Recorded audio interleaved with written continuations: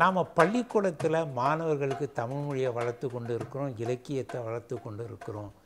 ஏன் நாடு தழுவிய அளவில் அந்த காலத்தில் சாரங்கபாணி செய்தார்? அவருடைய மாபெரும் முயற்சியினால் தமிழர் திருநாள் என்பது தமிழர்களிடையே ஒரு விழிப்புணர்ச்சியை உண்டாக்கியது. தமிழ் மாணவர்களிடையே ஒரு பெரிய பற்றுதலை உண்டாக்கியது.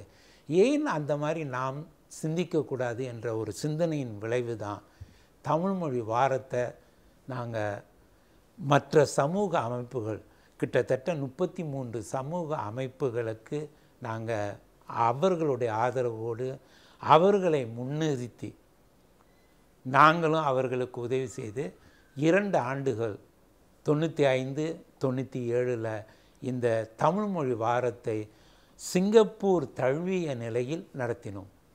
அதில் சமூகம் மாணவர் எல்லா நிலையிலும் தமிழ்மொழியின் பால் ஒரு விதமான பற்று அதை கற்க வேண்டும் என்ற ஒரு ஆர்வம் அதில் ஒரு விழிப்புணர்ச்சியை நாங்கள் காண முடிந்தது.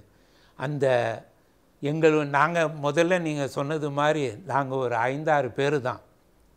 தெரியா ஆனாலும் எங்களுக்கு உதவியவர்கள் சமூகத்தின் பால் இருந்த முப்பத்தி மூணு அமைப்புகளும் கல்வி அமைச்சும் சம அரசாங்கமும் எங்களுக்கு உதவியதனால் நாடு தழுவிய அளவில் எல்லாருமே வந்து எங்களுக்கு இரவு பகல் உதவி செய்தார்கள்.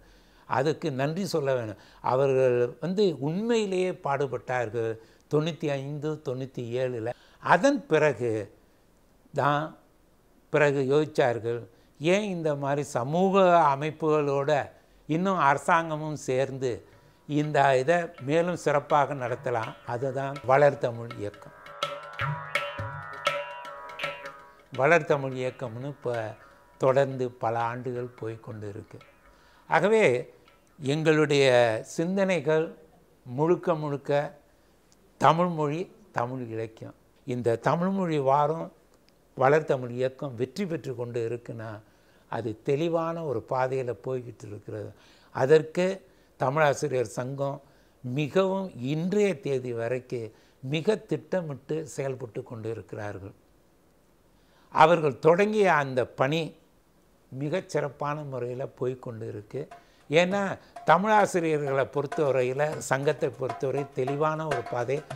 அவர்கள் ஆசிரியர்கள் மொழி அவ்வளோதான்